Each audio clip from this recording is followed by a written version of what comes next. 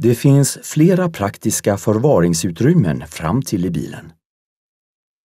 Särskilt till vänster om instrumentbrädan. I dörrfacken på förarsidan och passagerarsidan. I armstödet. Och på och under mittkonsolen.